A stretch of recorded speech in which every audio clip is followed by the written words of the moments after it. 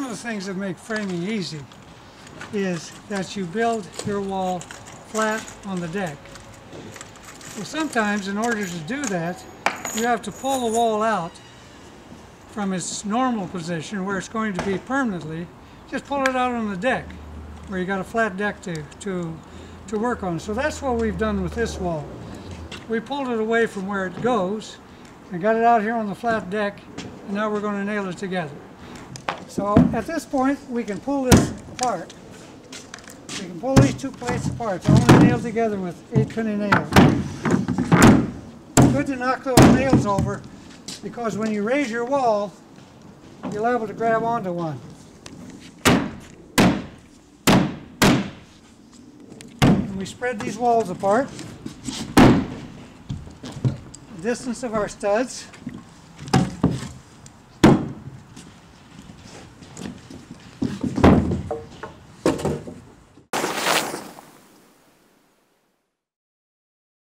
We find our header.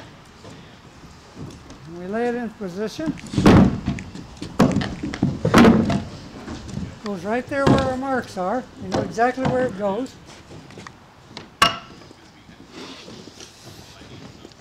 And you'll note now that in this way to, in this way of building, there's no top cripple. We just nail it right, this header, hard up against the top plate.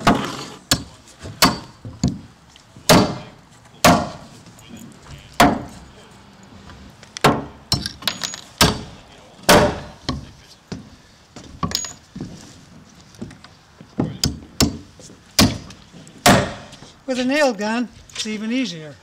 Now we can nail in our studs. This is called the king stud because it falls right up against the header. So we nail that in.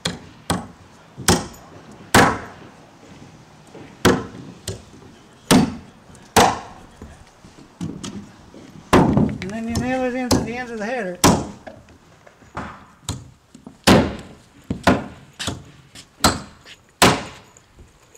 Down to the other end and do the same. That's the king stud. Here we got to build a corner. With a nail gun, this is real easy. A couple three blocks, scraps that are laying around on the deck. Nail the corner stud in. And then you nail these blocks in. One there, one on this side. That's one way to make a corner. There's other ways to make a corner. Let's go down here and see how Scott made his corner. So here we have a two by six wall coming into the to tie in. So we need to use a two by six on the flat, nailed in an L shape with the end 2x4 of the wall. That allows an inch and a half of the 2x6 to stick out on the other side, and sheetrock ties into that corner. So you nail it together in the L, making sure it's flush on the outside, and then you lay it in your wall. The good part about this is that it actually saves a little bit of wood. We use scrap over there, but it saves that. You don't have to nail in all those scraps. Just takes two studs and you got a corner. Now we got a nail on the bottom plate.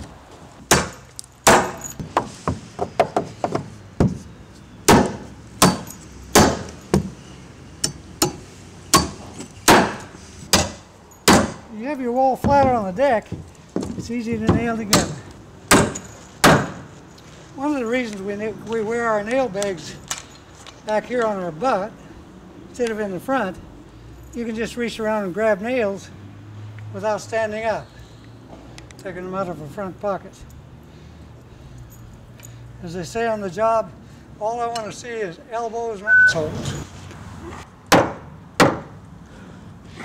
And now, we got the trimmers cut. You three, four or five and a half inches short of your wall stud. Some people nail these trimmers in hard right now, but here's another way to do it.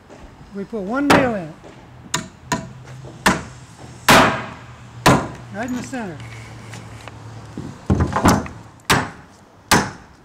You got a nail on the double top plate. And that's what Scott's doing right now. It's important to do what Scott's doing here.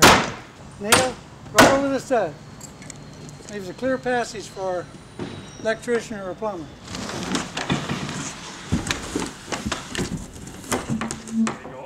Yeah.